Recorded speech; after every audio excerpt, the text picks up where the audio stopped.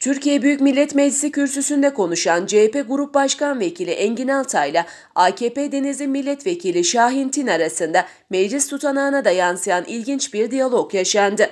Altay AKP sıralarına seslenerek millet aç deyince hoplamayın. Arkadaşlar millet aç perişan. Evet herkesin midesine bir şey giriyor. Kuru ekmek giriyor şeklinde konuştu.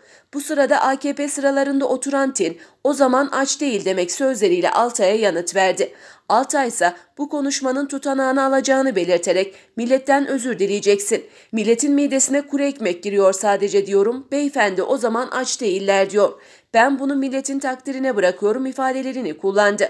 O anların ve tutanağın görüntülerini sosyal medya hesabından paylaşan CHP İzmir Milletvekili Tuncay Özkan ise AKP milletle işte böyle dalga geçti dedi. Diğer taraftan ünlü ekonomist Ozan Bingöl, karınlarına kuru ekmek giriyorsa o zaman kimse aç değil demektir ifadeleri meclis tutanaklarına geçen AKP Denizli Milletvekili Şahin Tin'e verdiği cevapta başımız açık sinemiz püryan, asilime kuru ekmek, vekilime büryan dedi. Tin'in kuru ekmek sözü sosyal medyada büyük tepki çekti. Bir kullanıcının milletimize hizmetkar olmaya geldik diye geldiler. 18 yılda işi kuru ekmeğe muhtaç ettikleri milletle dalga geçecek noktaya getirdiler sözü dikkat çekti.